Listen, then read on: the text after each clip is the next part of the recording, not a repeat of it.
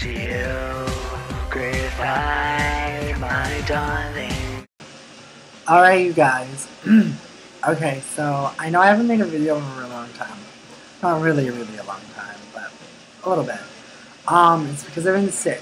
But, and I've been moving. I've been really busy. Um, so I'm gonna do a makeup storage kind of like layout of where how I store my makeup and my brushes and that stuff. So it's actually you're on it, like I'm recording from my MacBook. If you can see here, look, I can see me. That's funny. Um, you guys are right there. Um, but as you can see, what's going on? I have my foundations. Um, this one is it Donna Michelle or I don't know. It was really really cheap, so I got it. I have my MAC Studio Fix Fluid Mineralized Satin Finish. Um, my Estee Lauder. Um, the Max Foundation Stick or whatever the fancy name is for it. This stuff I love it. It's the Lancome um, Micro Lift Flash Lifting. It's really nice.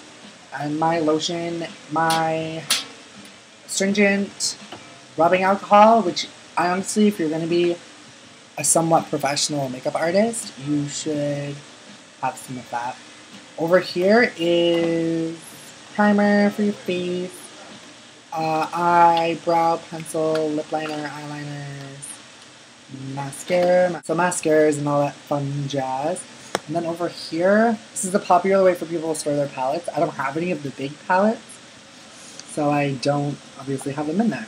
Um, I just keep, I do more than just makeup. So I do scrapbooking. I have some of these little fun stickers, um, a calculator, the extra MAC sponges, um, an NYC little eye palette, my lip palette. I'll show it to you. It's really fun. I can't remember where I got it. It's really old. Try to like block out most of this ridiculousness.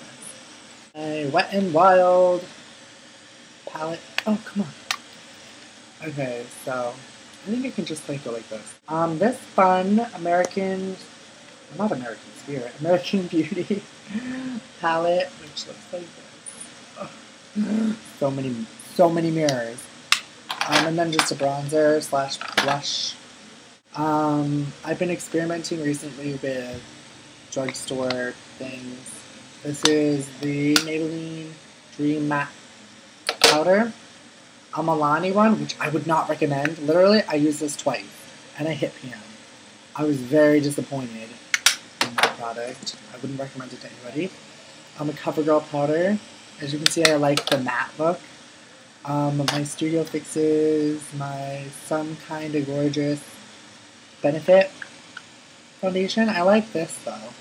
Much better than this Milani one. Over here, I keep like my EOS lip balm. Um, here I've got combs and like my fun nail files and pens and pencils and stuff. Um, and here is. My brushes, my stippling brush, my big powder brushes, all my eyeshadow brushes, and this fun little thing I got at the Dollar Tree for a dollar. Cost two dollars to make this whole thing.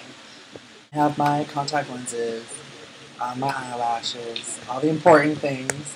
Um, and then here's some fragrances. This is Love Spot by Victoria's Secret. Um, Paris Hilton wine. What is this? This is Curious Britney Spears, a little lotion. I do a lot of little samplers. And then under here, we got just random little, these things, little plastic drawers, like um, my, what is this? Well Dressed by MAC. My Studio Sculpt Concealer, all of my lovely little eyeshadows, like Electra, Gesso, Pardon. Oh, and Glitter by Michael I love this glitter. Can't remember where I found it. I think I got it off Ooh, Snicker Play. Um, I started out nail polishes, because I like nail polishes. Um, I have like pink and orange and um, this fun little like pearly one. I have a lot of whites. Um, but anyways, oh, and I almost forgot. Over here are my lifesavers.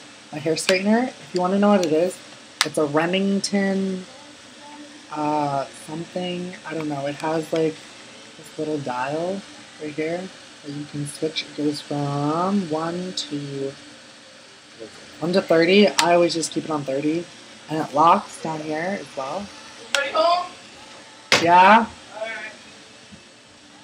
And my little eyelash, my little curler.